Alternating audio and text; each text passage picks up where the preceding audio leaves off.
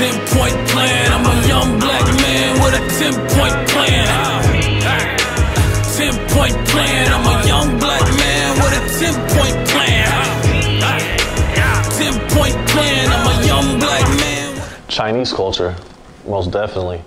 Uh, I just feel like China is moving so fast, growing so rapidly, and they are definitely an emerging giant that uh, we are forced to pay attention to and to deal with accordingly. And when I say that deal with accordingly, I mean like we need to observe some of their culture because it's going to merge with us.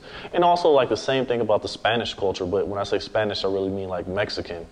So, but those two cultures for sure, most definitely.